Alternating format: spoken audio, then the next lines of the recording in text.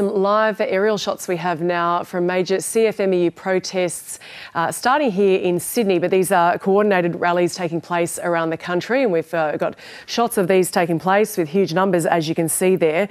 So it's uh, thousands of CFMEU members.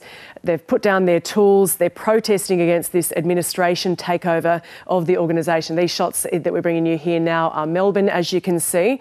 Uh, and this industrial action, or unprotected industrial action, I should say, uh, has just begun at the top of this hour. Uh, this is the shot that we're bringing you here from Brisbane at the moment. These marches, as I say, taking place in cities around the country. Uh, this follows the federal government placing the union's construction arm into administration. That came amid allegations of corrupt behaviour within the union. Now, uh, police have deployed traffic management resources along the streets to minimise any disruption. This is the shot here we're returning to from Sydney, where you can see thousands taking part.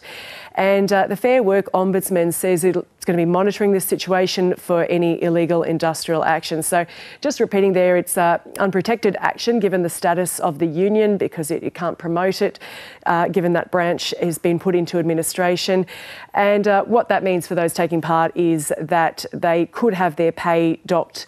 Uh, for taking part in this action today. They could face other penalties for it. Uh, that hasn't deterred them, though. We can see the numbers certainly turning out there. Uh, the Sydney shot there, but as we have shown you, Melbourne and Brisbane as well. Thousands taking part in these coordinated protests, or rallies, I should say, across the country. Now, our reporter Elias Clure is uh, in Melbourne. He joins us now. Elias, how are authorities preparing for these rallies? Gemma, well, police say they'll have a visible presence here along uh, Trades Hall. We're currently at the intersection of Russell Street and Mackenzie Street, and you can see them all around here. Tara's pointing the camera to them now, and uh, they've put multiple diversions in place. There's an incredible amount of people here. I'm going to estimate a rough estimate of at least 15,000 here now, and they're just streaming through, loud and proud, wearing their CFMEU shirts, waving their flags.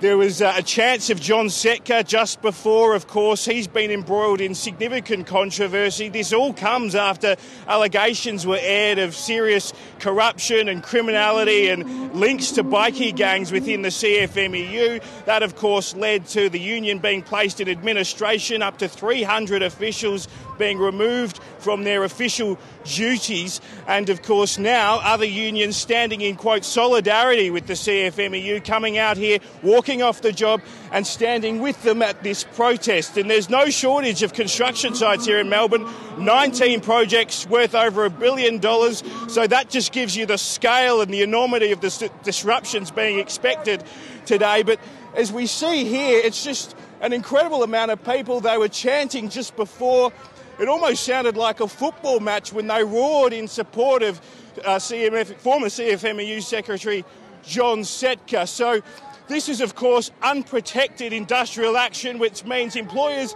can uh, take proceedings to remove up to four hours of pay or even remove them from their positions. Um, now, we're hoping, well, police are hoping and politicians are hoping that we don't see a repeat of the 2021 um, industrial strike and, and when um, construction workers walked off the job where we saw several violent incidents. The Premier of Victoria spoke to that today, as did the Prime Minister Anthony Albanese. Let's have a listen to him.